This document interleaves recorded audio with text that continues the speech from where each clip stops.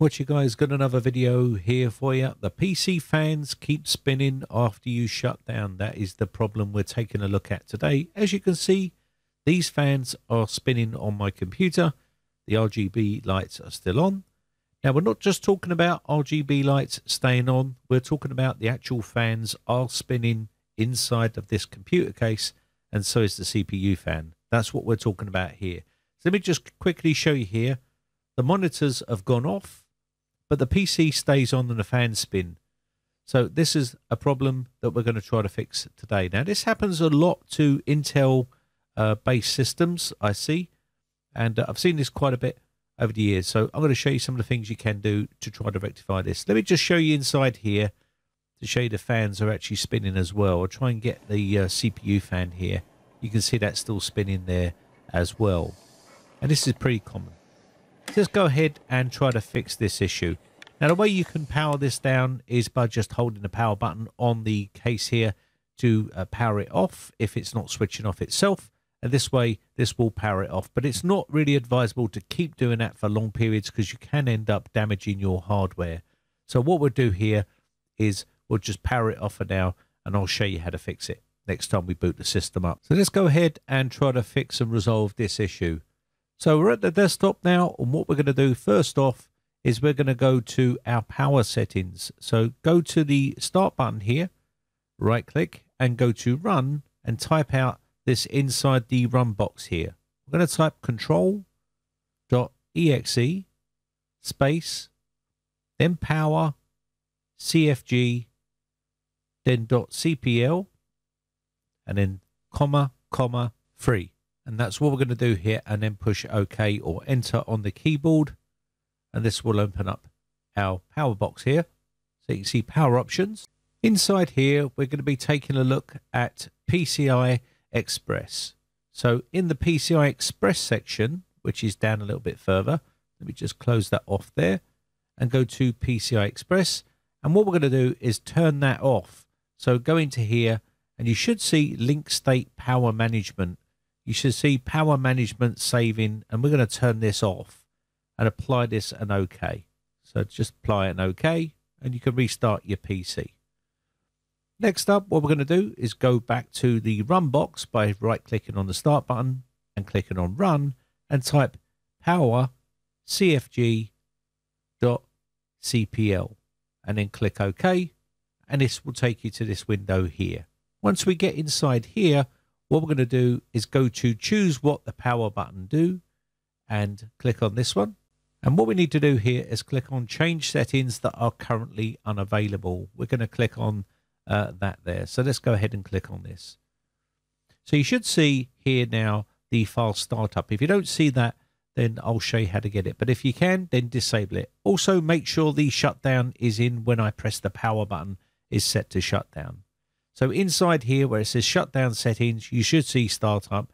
Just disable it. If you don't, you can type regedit in the search box here and open up the registry editor. Once you're inside here, we're going to navigate to this location here. H key local machine, then system, hit the drop down arrow here and go to current control set, then control, then open this up here. And then we're going to go down to Session Manager. So you should see that in the list here. So click on Session Manager and open this up. There we go. Inside here, we're going to be looking for Power. Click on Power. Now, on the right-hand pane here, we need to navigate over to here, and we're going to go down till we find our Hyper Boot enabled. So look for Hiberboot enabled. It should be in that list somewhere there. There we go. There it is. And it's set to 1. And if you want to disable this, then you need to put this to 0. And this is your fast startup. So double click on this one. A little box will pop up here and just change the value to 0 and this will disable the fast startup. Now, of course, if this doesn't fix it, you can always reverse this back if you want to at a later date. Now, if you don't want to mess around inside the uh, registry here and you do have Windows 10 or Windows 11 Pro and above, you can use the group policy editor. So type GP edit in the search box and open up the local group policy editor. Go to computer configuration administrative templates, click on system, open this up, and then go down all the way down here until we find uh, shutdown. Click on shutdown here. And on the right hand pane, you should see require use of fast startup. Inside here, you can disable the fast startup by using this method here. If you don't want to mess around inside the registry, you can use this method here. But I've got it set in the registry, so I'm not going to bother using this here. But if you do want to use it, that's how you can get to this location. You can enable or disable here, depending on what you're trying to do. Just read the information on the screen and you should be good to go. The next thing we're going to do is we're going to go to our command prompt because we need to disable hibernation. So we're going to turn off hibernation. So let's go down to the search box here and type CMD in the search box. Run this as administrator and this should open up the command prompt box here. And then what we're going to do here is type out this command here, power CFG and then space dash and then we're going to do H and then space off and then push enter and that will turn off hibernation. So going to close out the box now. We don't need this now. So that's hibernation off.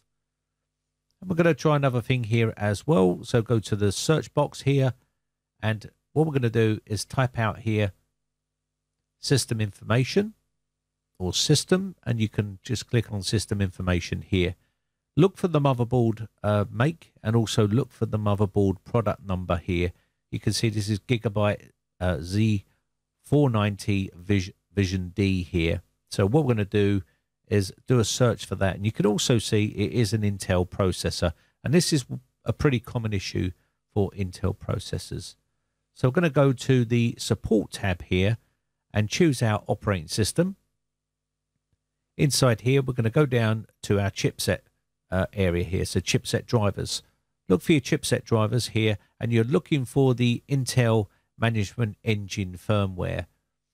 And you want to make sure you download this. This you want to get the latest version. So inside there, there'll be a bunch of files, and they're not executable files. You will need to use a different method for installing this onto the system, but this resolves a lot of the issues that you might be having. Check the version uh, here and also check the date uh, of the release of this. You can right click and go to device manager and cross reference this with the driver that you have installed on your system. And this will be down in the uh, system device here. So click on system device and what you're looking for is the Intel Management Engine interface here. Right click on here and if you do an update on this, it's not going to update. Uh, it doesn't update very well from there. But you can see if we look at the driver itself, it tells us the date and the version. You can see it's outdated by quite a bit. This is the 2019 version, and the one on there is 2021. So this can fix a lot of problems. If you do an update, it says the best drivers for your device are already installed, and that's simply not the case. That's because Windows decides on what's best drivers for your system and they're using old outdated drivers. So I've got this unpacked now and it's in a folder. So if you go inside here, you'll see a bunch of files and there's no executable files inside here. You see, you can't just click on them and install them. It doesn't work that way. But I'll show you how to install them. It's pretty straightforward and easy to do. So let me click on this and you see nothing comes up here for installation.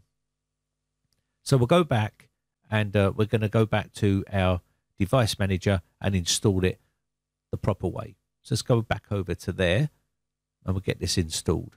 So I'm just going to quickly open up device manager by right clicking on the start button and hit device manager. Here we go. So we'll go back to the location where we was just now, the system devices, and look for the Intel uh, management engine interface. Right click on here and click on Update and browse your computer and navigate to that installation folder that you downloaded or the folder, whatever it's called, where you stored it on your PC and click OK and then click Next. And it will then install those drives successfully if they're outdated. And if we go back and right click on this now and go to Properties and then Driver Information here, you'll see that it has updated that driver and give us the latest version. So that's how we can resolve that issue. And that does resolve a lot of these problems. So hopefully that has resolved your issue, you can restart your PC and hopefully it shuts down normally after you've done all of these steps. Now, if you're still having issues, you may want to uh, do a fresh, clean install of Windows to make sure that there isn't some sort of bug with Windows.